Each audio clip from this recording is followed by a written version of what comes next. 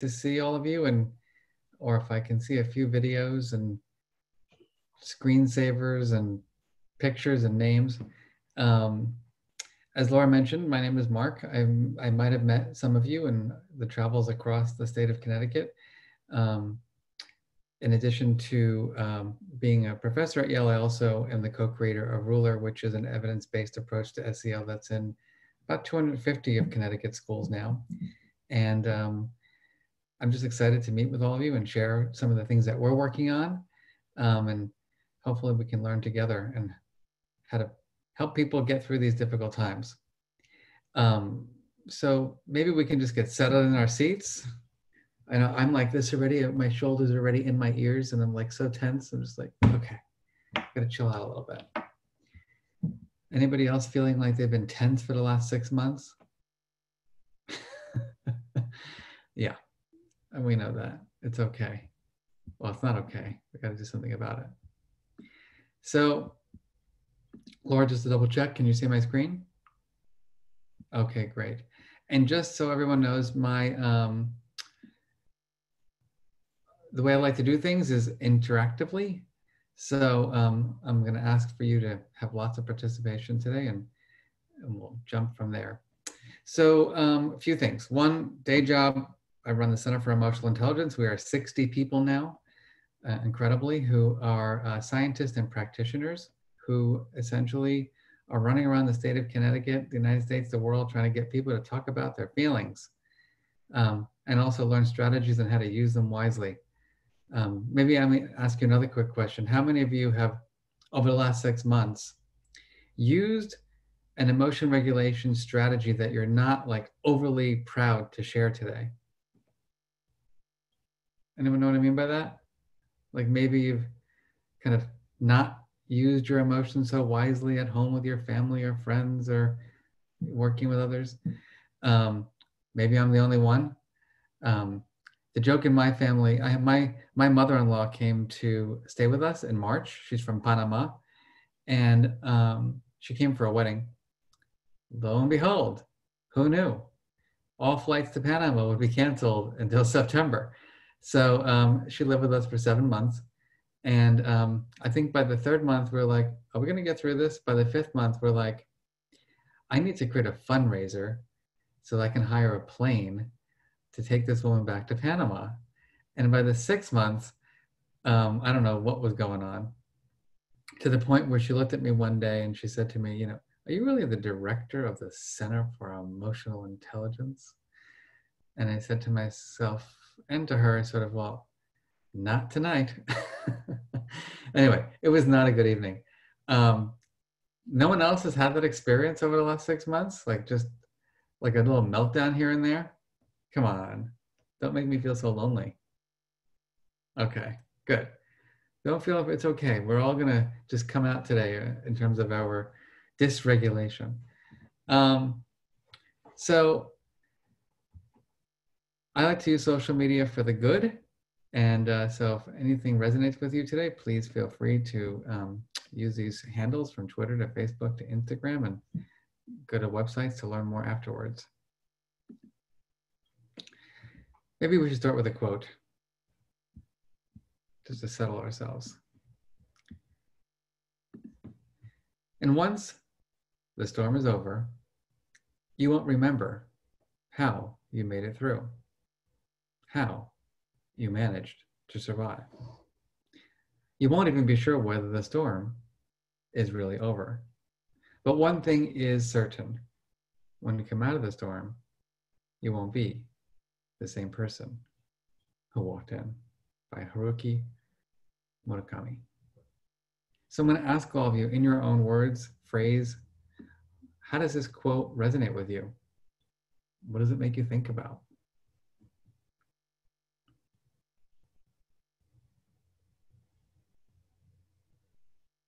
This is called the counselor participation part of the webinar. So if you want to drop that in the chat because everyone's muted, like forcibly muted. Um, That's what I'm asking. Would... We can just type it into the chat. Thank you, Laura. Yep. So growing during crisis, coming together, we're stronger than we realize, resilience.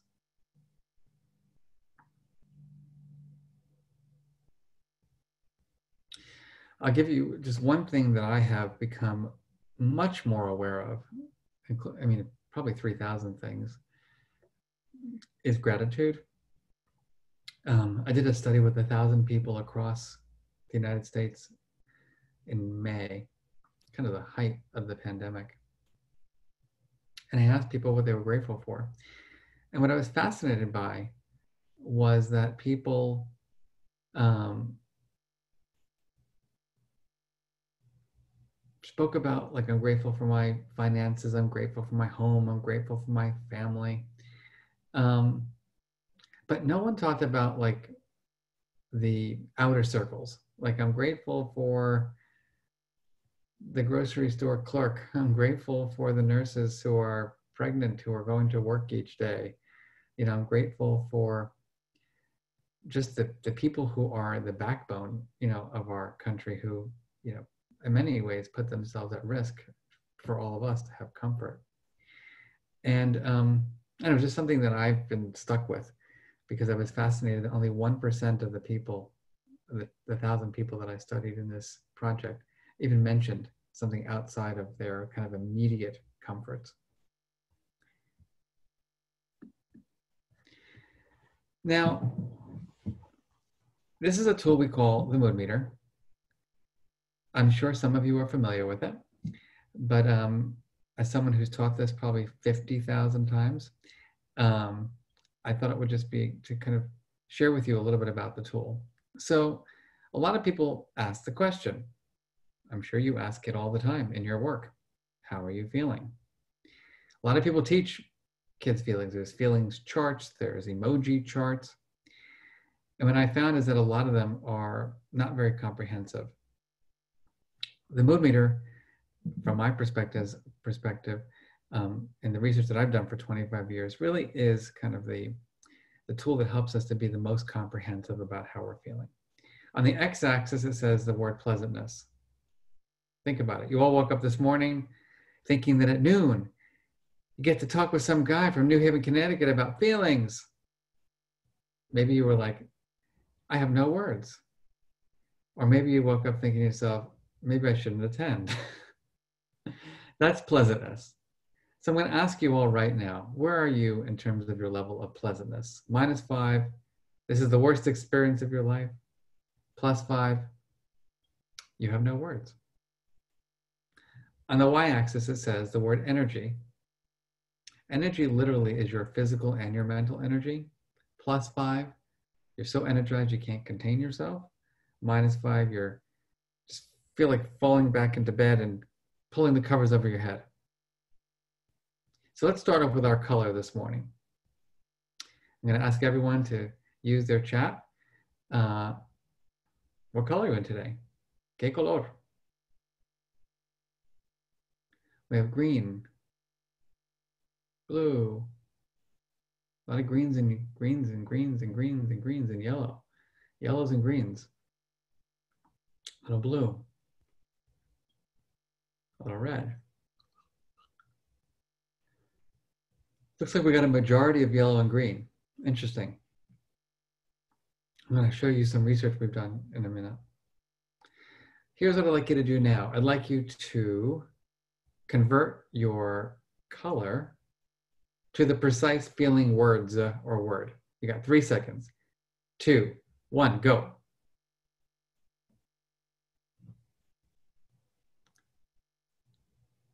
Content, calm, excited, tired, worn out, content, tired but here, mostly content, motivated, calm, tired but hopeful, mellow,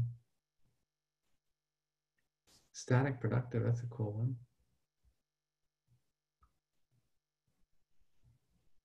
Let me ask you another quick question. How many of you found it a little challenging to go from like the color to kind of choosing the word?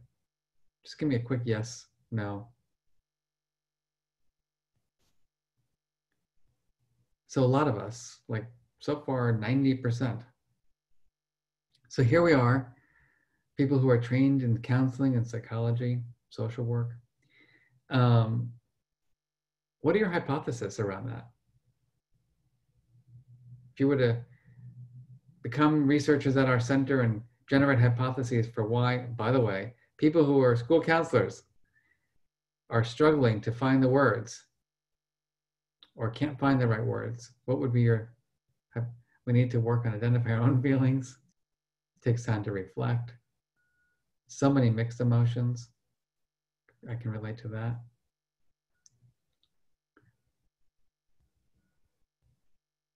We've got to expand our vocabulary, used to helping others, not being self-reflective.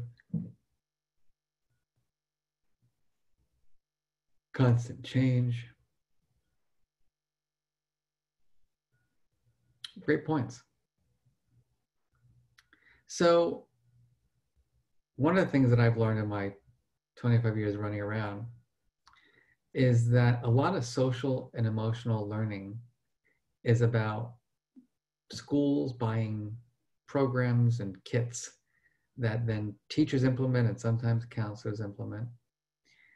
Um, but it's not really about building a common language throughout the entire school or district or, in my vision, state, um, so that everyone is on the same page in terms of how they talk about feelings and how they label feelings.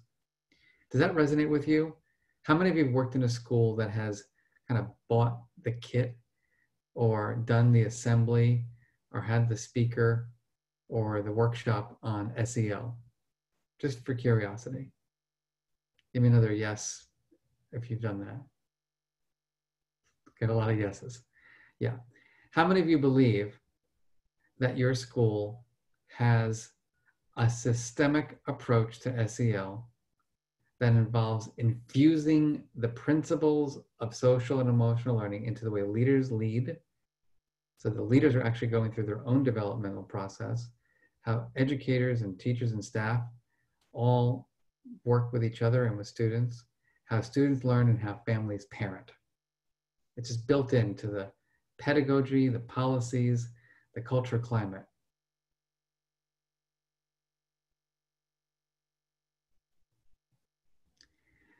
You know, I see a couple, maybe yes, we're working on it, making progress, a lot of no's. And I think, you know, honestly, just to be completely transparent, I've come to the uh, conclusion that um, if we throw one more kit at a teacher to teach like stress management or mindfulness or anger reduction or I statements, um, like we're just never going to get anywhere. Here's the best example. I visited a school recently well, recently as like eight months ago. And um, I was walking in the hallway with the principal of the school, and the principal was trying to convince me how excellent, you know, their work was in social and emotional learning. I'm not a judge, I'm just listening. And so she said to me, you know, we do, everybody's been trained in mindfulness, and everybody's been trained in how to promote grit, and everybody's been trained in I statements, and everybody's been trained in, I can't even think of like 10 different things. I was like, wow, that's impressive.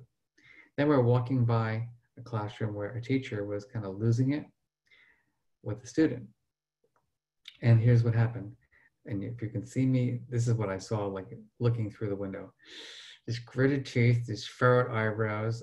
When you speak to me this way, I feel angry. And I looked over at the prince and I'm like, looks like you got the I statements down. No, I didn't do that actually. I wanted to do it because I think that the that whole way of thinking about it is wrong. Um, you know, the I statements are fine, as we all know, but that doesn't shift the culture and climate. That doesn't make kids feel safe and welcome. That doesn't help kids necessarily identify their feelings in helpful ways and regulate effectively. Does this resonate at all with you? Just curious. Okay. I just want to make sure I should keep going. So now is the time for all of you to just take a moment and think about your own regulation strategy. You know, I know it's hard to attend these things. I have to do Zoom meetings all freaking day. It's like, oh, I wake up having nightmares about it. Um, so we're going to be here for about 45 more minutes and that's you know not that long but it can you know be draining you got other stuff on your plates. My hunch is that many of you were double or triple dipping during my webinar, kind of sneaking in a text here, you know, doing a little email there, filling out a report there. Um, so I'd like to know from all of you what your strategies are. Like really, to get the most out of our time together, what's your strategy? Can everybody just share what their momentary 45 minute strategy is? Mindful, lists, notes, stay present.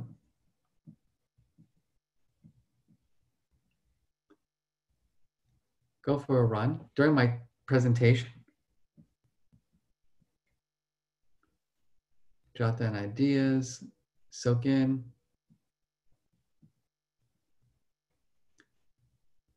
Engage, a lot of note taking,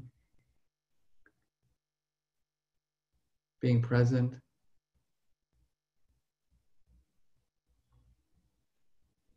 Okay. So mindfulness, writing lists, taking notes, being present. Go for the run. We'll do that one later. Thank you very much. Jot down ideas. That's kind of notes. Engage. Some breathing exercises. Shutting the door.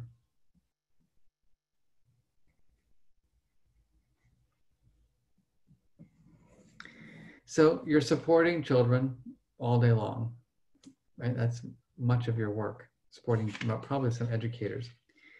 And so let's say we just put a list of these strategies in the classroom.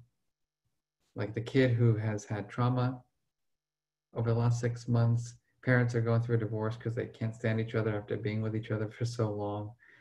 Um, the kid is kind of feeling down, scared, lonely, angry, lots of feelings. And then on the classroom wall, there's a list of strategies. Be mindful, write a list, be present, jot down your ideas, engage, breathe.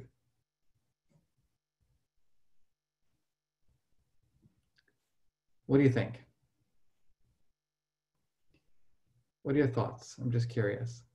Now, some of you are like, I hate this guy already. He's making fun of my strategy. I'm not making fun of your strategy. They're all real things. But what do you think? What, did, what is it? What do we learn about emotion management?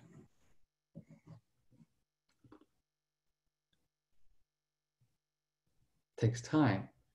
It's not easy. Can't be too simplified. It's got to be personalized to process.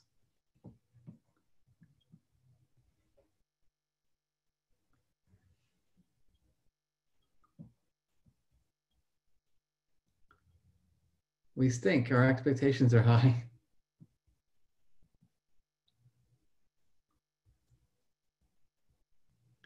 It looks different to different, looks different to different people. One thing that's fascinating to me is that, you know, we as a America in general like to latch on to like the strategy that everybody thinks is the answer.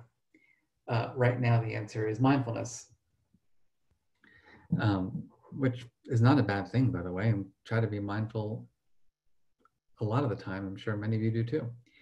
Um, but what's interesting is that, you know, as you probably know, the mental health in our nation has diminished over the last 20 years, but um, the last six months in particular. And um, we for example, at Yale, where I work, about 60% of our undergraduates are doing something to support mental health challenges. 60%. I'm going to repeat that, not 6%. 60%, 60%. And I went to the counseling center last year. And I'm like, so what's going on here? And they said, well, you know, blah, blah, blah. Everybody's stressed out. It's gone up 20% a year for the last six years. And so we're just, we're adding more yoga classes to the campus and more mindfulness classes. It's like, okay. So I went back to my class that I teach on emotional intelligence. And I asked students to journal for a couple of weeks about all the things that they were stressed out about. lo and behold, what I found was they were not really stressed. Their primary emotion was envy. That the things that were quote unquote stressing them out were this kid's more, this kid doesn't have to study as much as I have to study to get A's. This kid's got a parent who's more connected than me. This one, this, this one, that, this one, that, this one, this, this one, this. And then they're on social media for six hours looking at all these images. And so the number one feeling was envy. So I went back to the counseling center. I said, I'm just curious, like, how much of the treatment and the work that you're doing with our students is like on envy management? And they looked at me like I was crazy. And I said, Well, this is what the research is showing among the students. And again, they said, like, well, we're offering more and more mindfulness classes, we're offering more and more downward dog. And I said, well, you know, where's the study which shows that downward dog reduces envy? Now, um, the one thing I'm happy about is that I have tenure because I thought I was going to, I could have gotten fired if I probably had said that five years prior. But um, do you see the frustration? I mean, do you feel it in terms of like, we just don't take our children, college students, high school students, elementary, middle, elementary, you know, students, we don't take mental health seriously. We think it's just like throw a little mindfulness program, throw a little yoga. And I do yoga and mindfulness, but if I'm envious all day long, right, I need something to shift my cognition. That's your cheat sheet, by the way. I think Laura showed you my book. So, on the inside of my book, you get the cheat sheet of all the feeling words. So as I mentioned, you know, never before in my career have I seen these data, a 67% increase in parents who reported feeling anxious or depressed all day, 42% increase in children's externalizing behaviors compared to 2018. In April 2020, eight times more likely adults are to report serious mental distress. And um, I think certainly we've now learned that we have not been equitable in nearly anything we've done in our country. Um, and so we know that our BIPOC communities have a higher chance of contracting the virus, have greater needs, less access to healthcare, and higher mortality rates. So I asked all of you how you were feeling. Well, this is what educators across the country shared they were feeling back in March and then over the summer. So I asked 6,000 educators across the United States, how are you feeling? That's how they felt in March. And then I said, well, how do you anticipate you'll be feeling in the new school year? Anxious. Does this resonate with you in terms of your school population right now? I'm just curious.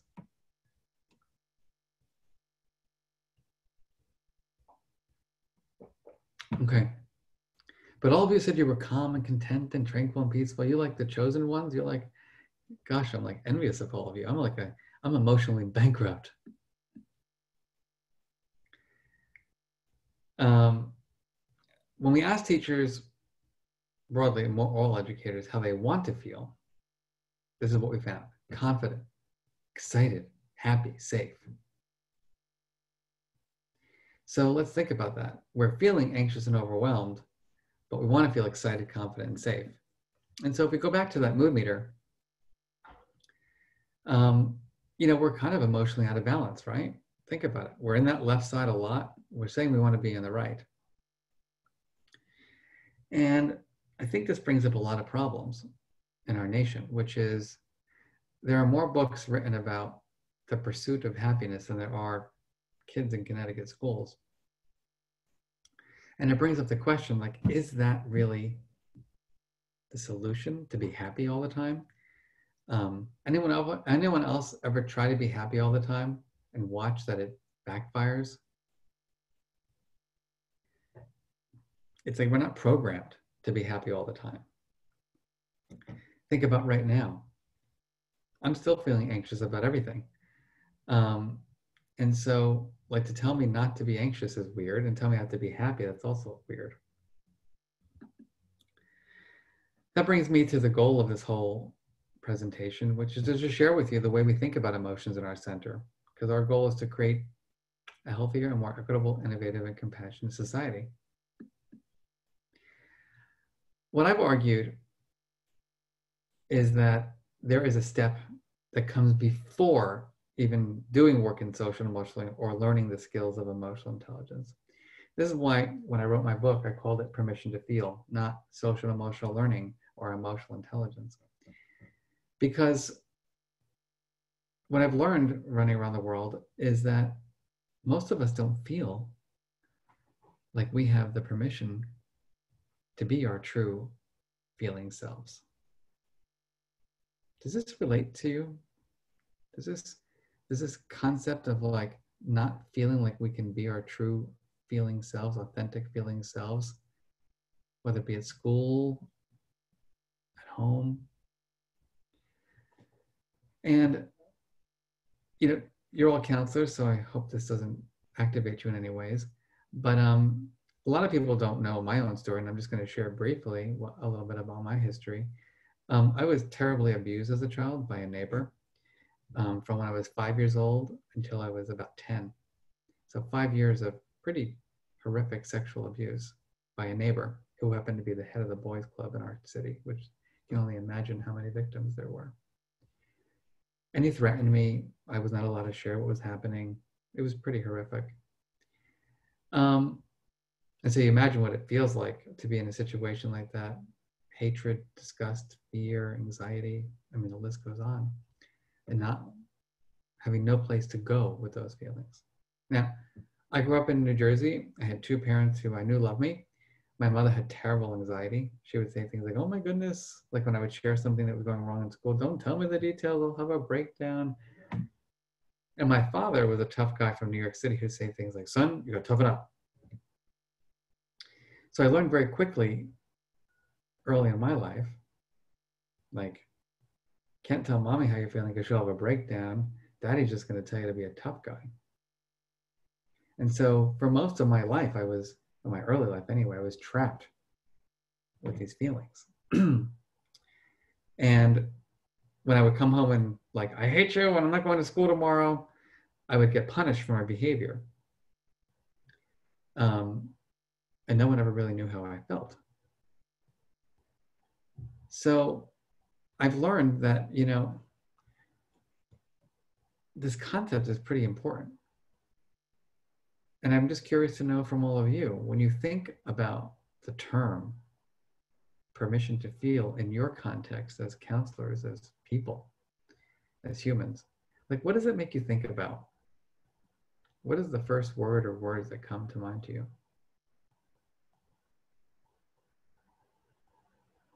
Authentic and genuine. Letting go, true self.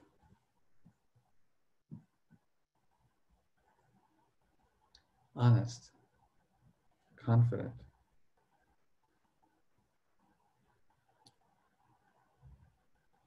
Real, letting go, safety.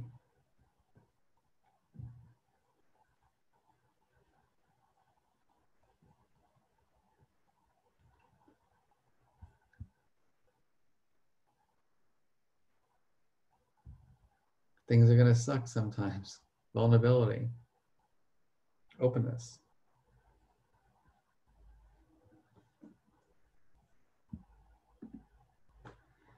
So, in my book, what I shared, and I've dedicated my whole career to my uncle, is that I was blessed that my uncle actually was a school counselor. I can't believe I just remember that. He was a school counselor in upstate New York. And he's actually getting his master's in school counseling at Fairleigh Dickinson University in New Jersey, near where I lived and he would stay um, with my family once in a while when he'd come down to do his weekend classes. And for whatever reason, he was the only adult that I ever disclosed what was happening to me. And when I think back, it was his facial expressions, it was his body language, it was his vocal tone, it was his all the things that you're coming up with. You know, he was he made me feel safe, he made me feel validated, he was vulnerable himself. And so it was that day that I felt I finally, you know, have what I now call permission to feel. I'm curious, you know, in my travels around, I don't find that everybody has an Uncle Marvin. And I don't want to get too personal with all of you, but I wonder if you have a person who helped you to be your full, unconditional, true feeling self. Parent, coach, friend, teacher, brother, sister, aunt, uncle. And, you know, I share this with you because a lot of us, a lot of people didn't have an Uncle Marvin. Um, one of my most amazing experiences uh, in my career was when my book came out, I went on a tour and I was giving speeches about this concept. And I asked people, you know, who was your Uncle Marvin? And from what I described about my uncle, one gentleman said, he goes, Marc, I think this is really weird, but your Uncle Marvin was my Uncle Marvin. I'm like, what? He said, your uncle was my teacher, was my counselor 45 years ago. And I'll never, ever forget him. It blew my mind. Of course, I was like, you're not going anywhere. I got to interview you. And when I learned, just blew me away, you know, about the way my uncle made people feel. And so, you know, it's interesting because people have now said to me, well, Marc, for whom are you the Uncle Marvin? I'm like, I'm a workaholic, you know, I'm not really giving, you know, all that I received. So much of what you came up with is um, here, when I ask people for those characteristics in my research, compassionate, empathic, non-judgmental, supportive, accepting. Let me ask all of you, any of these characteristics that you think you might want to work on for your own development?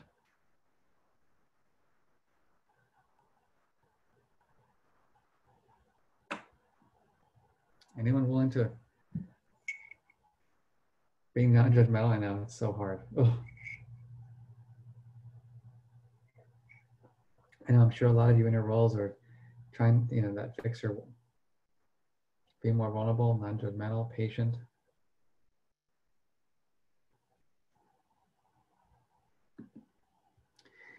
You know, it's interesting. I was being interviewed the other day. Actually, Ruler is going to be on CBS this morning, tomorrow. And I was interviewed, and this person who was interviewing me, uh, I was sharing a little bit about my story, and she was, I can see this person was not comfortable. This person was a doctor, by the way. And she's like, Can we just talk about the research now? And I was like, Sure, you know, not a problem. I'm just gonna like shut down my whole person. Um, and I find that that's one of the challenges that we face, isn't it? In our work, in our school, in schools, is that some people are just, they're just not prepared. This is why we can't just like throw the SEL program and say, go do this in your classroom. Mm-hmm. And so I won't go into a lot of detail here today because I think a lot of you know this, but for anyone who's a naysayer, I just say you don't know the research. Emotions matter for everything, right? From our attentional capacity, from how our brains operate during stressful times, to decision making, to the quality of our relationships, right? Emotions are signals to approach or avoid. Just curious, do any of you work with some colleagues who are really difficult? Anyone work with someone who's difficult at their school? And how many of you, when you think about that person who's really difficult, say to yourself something like, oh, I want to work with this person for the rest of my life. right? It's like, oh my goodness, I can't take it. Why don't I get up in the morning? So emotions are the drivers of our relationships, our physical and mental health, right? Our performance and our creativity. One of the things I've written a lot about over the last year is why we need to create a generation of emotion scientists as opposed to emotion judges. Just take a minute and look at these. Where do you seem to fall?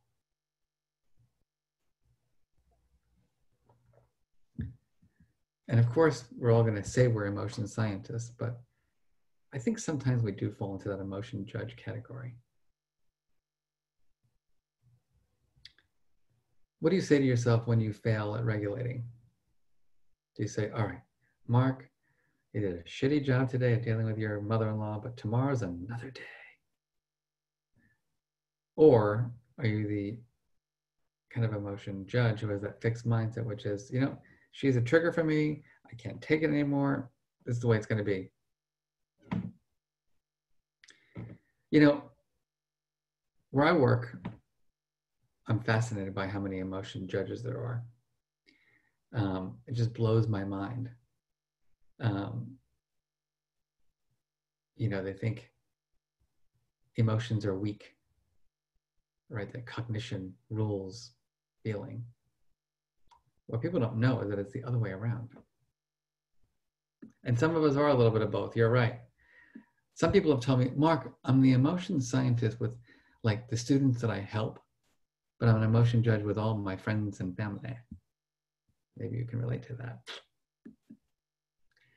So the question is, so what are the skills? And ruler is a set of skills, recognizing, understanding, labeling, expressing, and regulating emotions. And of course, if we had more time, I could go through all these skills in greater detail. But what I've learned is that the R, the U, and the L is helping us to identify our feeling states. What's going on in my body? What's going on in my brain? What might be causing my feelings? And then what do I do with those feelings? So I'm going to ask all of you right now, I'm going to do your little test of emotional intelligence. And whoever gets this right first, I will send you a free copy of my book. All right, here we go. What is the psychological difference between anger and disappointment. Go. No cheating.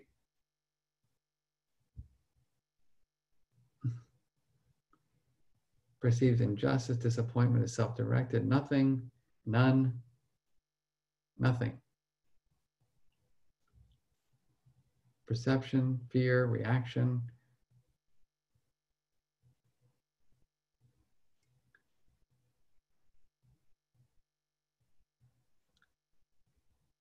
outward, inward, anger is secondary. Perception, self regulation. But what is the psychological difference between the two?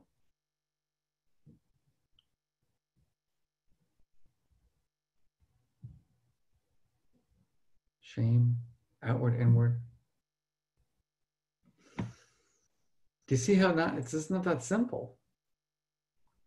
So right? The psychological difference is that disappointment, as someone said, is about unmet expectations.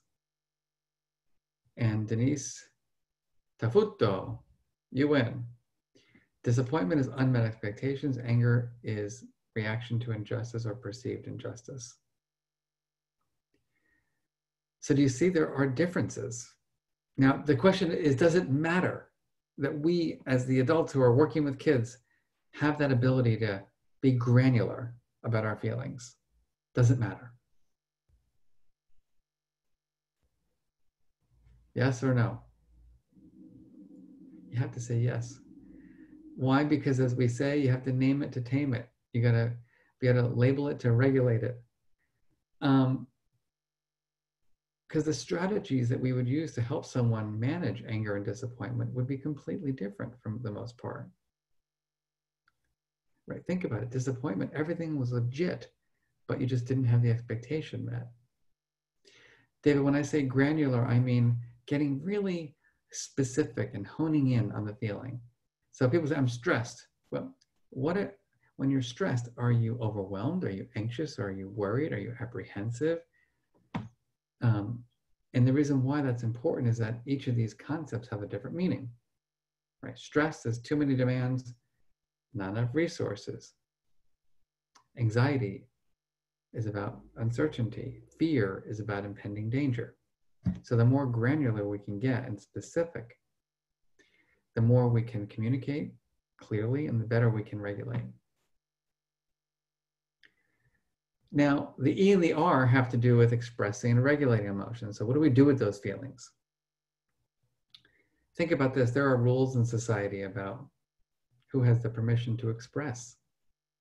You know, I'm writing a paper right now with a friend of mine here uh, who's a professor in the psychiatry department, who's an African American psychologist. I'm a white Jewish neurotic psychologist. And um, the rules are different for each of us when you think about it. If we're walking down the street expressing anger, isn't he going to be perceived differently than me? Definitely. So this brings up why we can't just be focusing on helping kids or teachers, right? We've got to think about this from a systemic level. We've got to create permission to feel societies, emotionally intelligent cultures and climates. Regulating emotions, the strategies that we use to regulate. So when we think about emotion regulation, it's about the self-regulation, it's about co-regulation, it's about helping other people to regulate. And I think some important things about emotion regulation is that it's specific to the feeling. Like the 90s were my anger years. I'm kind of done with anger and now I'm chronically overwhelmed. They're specific to the person. There's no correct strategy for you or me. It's based on my personality my cultural background. It's specific to the situation relationship. You can't use the same strategies in every situation. Like you can't go for a run when you're giving your presentation, like, oh my God, I'm so stressed out from all these counselors. I'm going for a run. Can't do that. It's a good idea, though it's raining out. Um, but I can go for a run later. Obviously, we all need a lot of practice. Somehow or another, there's this misconception, and I can't deal with it anymore, that people think it's about controlling. The last thing we want to do is control people's feelings. What we want to do is help people use their emotions wisely. Obviously, we need to be emotion scientists about our strategies to see if they're working. And we got to remind ourselves over and over again there's no correctness. And I think this is where the big problems come in because teachers and other many of us just want the right answer. Like, what's the right strategy? I'm like, there is no right strategy. It's about self-discovery and learning what strategies work best for me to achieve well-being and relationships, you know, and goals. So it's really about helping ourselves and our kids become emotion scientists. And obviously, you know this, you know, getting into that good stress zone is great. Like I love to hire people who have a little bit of stress problems, right? They get stuff done. They're pushed. They're motivated. It's when it becomes that acute, you know, um, toxic stress, you know, that we're burnt out. So the last thing I want to share with you for right now is what we've learned is that there are these areas of regulation, right? First is permission to feel. Second is this kind of biological stuff. As we now know, our nutrition, our sleep, our exercise, all are inextricably linked to how we regulate. A lot of parents say to me, you know, Marc, I'm, I'm trying to be better in the morning, but I'm just, I have such a short fuse. And I'm like, well, how's your sleep? Terrible. I'm like, there you go. So your sleep is going to predict whether or not you're going to use those strategies in a good way. As you all know, if we don't deal with physiological regulation, we're never going to be able to have communication. So what I mean by that specifically is that oftentimes we try to have conversations when kids are activated, but it doesn't work. None of us can make that happen. Our brains aren't responding. People often talk about self-care as like like it's a trigger because like I don't have the opportunity to take a bubble bath. Um, I don't even have a bathtub in my house. So it's not about bubble baths, right? Self care is about finding the things that bring you meaning and purpose and joy. For me, it's taking sometimes just a five minute walk to just like get some fresh air. Obviously, relationships. Are you that Uncle Marvin? Um, I'm sure most of you are trained in some kind of cognitive work in terms of whether it be CBT or whether it be supporting children having more positive versus negative self-talk. And then finally, you know, just having those routines that work for you, setting up your day. So for me, this has to do with being trying to be my best self in the morning, maybe for you. Let me ask everyone to take a nice long inhale and a nice long exhale. And just bring yourself into the moment.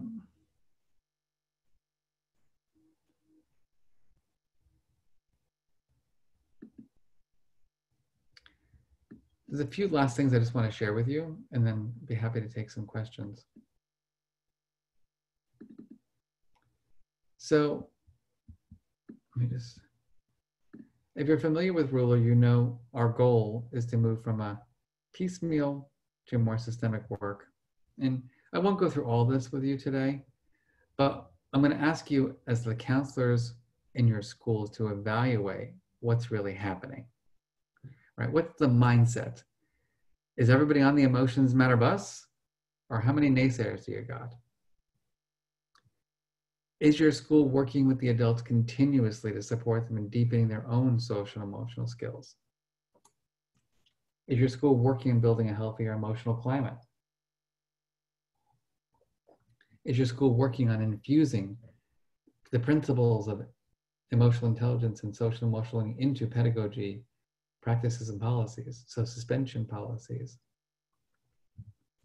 Because what we find in our research is that the only real outcomes um,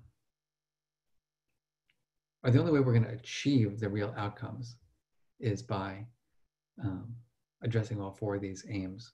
And by the way, I'm happy to give you all my PowerPoint, so have no fear. Available for free. So in Ruler, what we do is we work with adults then students from pre-K through high school. We have outside of school time work. We have content for families. As a matter of fact, we have units for every single grade level. Um, from pre-K, early child, all the way up to high school. And they differentiate. So the early childhood work is obviously often teacher-led with core routines. And elementary school, we use the understanding by design framework with core units and building a positive classroom culture climate, being self-aware, learning strategies to help us manage. Middle school uses more project-based learning and high school really is about students directing the learning. So just a few things about lasting change. I think the first is, and what I need your help with, is we got to get everybody to learn the science of emotion and emotional intelligence. That emotions are not disruptive, they're actually useful we got to understand that SEL skills are hard, not soft skills. These are the skills that people want. We got to move beyond the whole happiness is the answer. Research shows that the more you strive for it, actually, the worse you're going to feel over time. It also denies the full kind of humans that we are. I don't know about you, but I just see how much money we spend on crisis interventions and we don't spend enough time on prevention.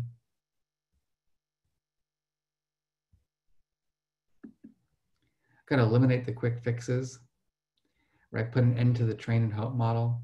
So Karen, you're saying, isn't this another kit? It's really not because it doesn't work that way because the whole first year is all about adults learning the emotion language to help them be more granular. It's also built into staff development forever in terms of reflecting on like, how are the triggers that you're having right now affecting your relationship with your students? it's not just like asking teachers to go into the classroom and do something. Um, it's quite different, actually. It's saying we are a continuous development species, and we need to be every year addressing growth in our ability to manage emotions. And finally, right, we've got to update or overhaul these outdated policies. Um, whether it be suspension policies um, or others that are you know, perpetuating inequities. So a few last things. One, with very generous support from um, the Dalio Education uh, Group, we were able to build a course that is a little bit like the kit. So I'm going back to this. This is, this is our temporary solution to a permanent problem. But what we found was that not every school this year is prepared to take on a model like Ruler, a systemic approach to SEL. And we want to make sure we get teachers some basic strategies to help them manage their anxiety and stress and to help them help their students. Just so you know, we launched this two weeks ago. We have 22,000 educators registered in the state of Connecticut. So it's unbelievable. It's free. And um, the there are eight areas that are in this course. It's an introduction and why it matters, helping educators identify their emotions, managing our own emotions through behavior change or doing things, managing our emotions by changing how we think, teaching, really making sure people understand the principles of anti-racism and cultural responsive pedagogy, helping teachers be more accurate at identifying their students' emotions and helping the students to manage theirs, and putting it all together. So my hope is that you will share this. It's self-directed. You can do it at night. You can do it while you go to the bathroom. Just kidding. Um, I don't care when you do it.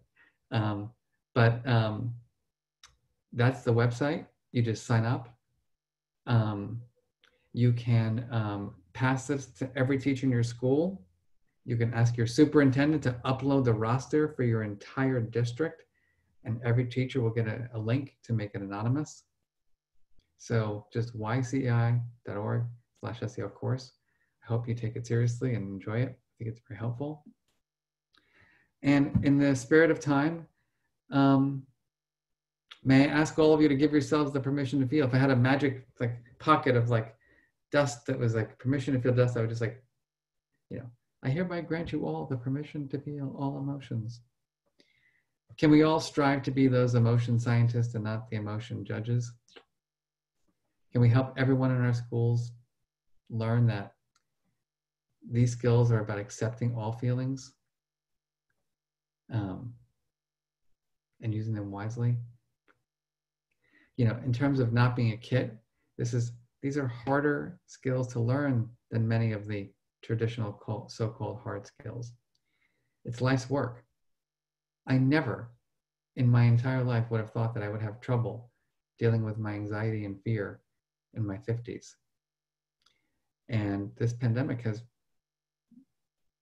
been a wake up call to me in terms of the work I need to do on myself. And I'm like a, supposedly an expert in this space. People say to me, like, Marc, are you doing okay? I'm like, not really. They're like, but you're the director of the Center for Emotional Intelligence.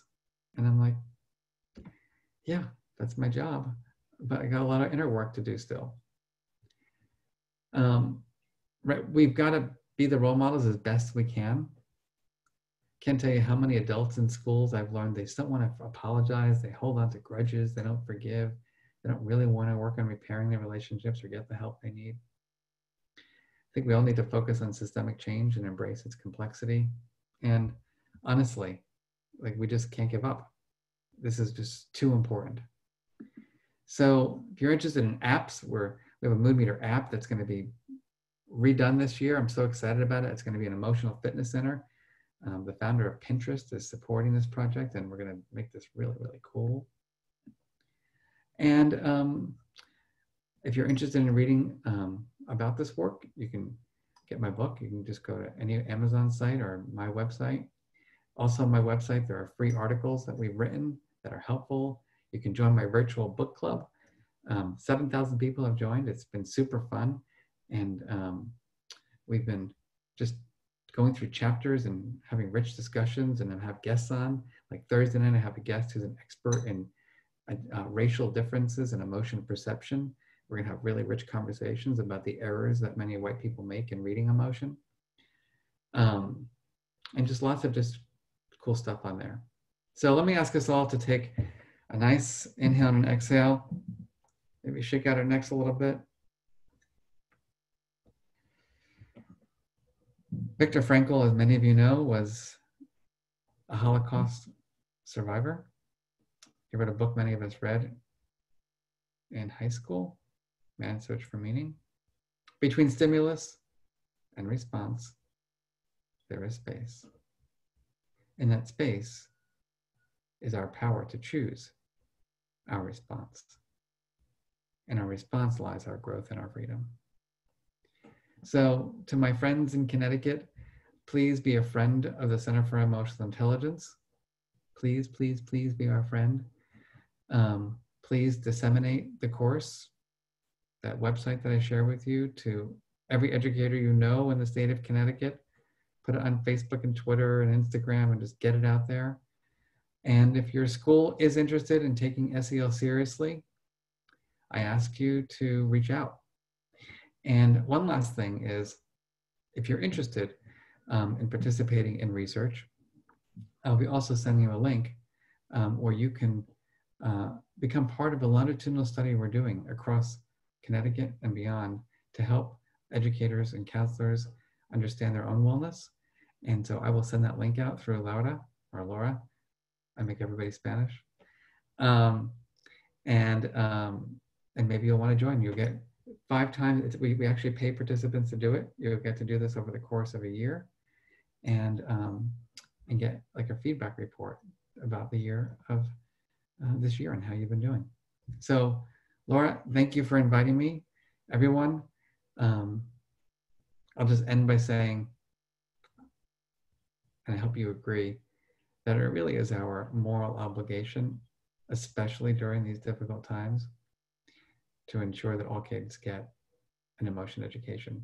And that starts with we adults, us adults being the role models. So thank you, everybody. God bless you. Be well. Use those strategies and stay in touch. Thank you. Thank you so much, Marc. Um, so grateful that you're able to join the Connecticut School Counselor Association and all the counselors here to to learn a little bit more about the um, ruler program and just this permission to feel and allowing that space for our students and the reminder that um, being vulnerable is okay um, and being our true selves and, and allowing us to be human, which we often forget as mm-hmm. educators and role models. Um, I am so grateful for all of you who are joining us. Uh, we have so many more events happening this week, so please be sure to check out everything that's happening. We have a lot of college and career pieces that are coming up this week, as well as I think a 504. And um, I'm, there's so much going on, mm-hmm. including, I believe, leaf peeping is happening at the end of this week. So getting that chance to do something for yourself and relax as well. Um, if you have not renewed your membership, because I just got mine today, um, please be sure to renew your membership for the year. As moving forward, we will be working on um, making sure that our members are receiving the best support that they can possibly get with our organization platform and advocacy. Marc, again, thank you so thank much. You. And anyone feel free to send questions, comments, concerns, anything. Um, um, I'm telling you, I'm on this mission to make Connecticut the first emotionally intelligent state, and I'm not going to sleep until it happens. So, um, but I can't do it alone. I really, really, really, really, really want all of you to be involved. Um, and I will get Laura. I keep on wanting to call you Laura. It's okay. um, you're Italian now, just so you know. Um, the uh, I'll get you the link. I'll send you the PowerPoints. I'll send you the link to the surveys and I'll send the link to the course. Wonderful. And we will put those up on a our Connecticut School Counselor Association resource page, um, probably under, um, I think we have a social emotional learning, but if not, under the COVID section, as we that course is specific to helping our educators through this moment in time. Cool. All right. Thank you, Thank you everybody. Have a wonderful day. Bye, everyone.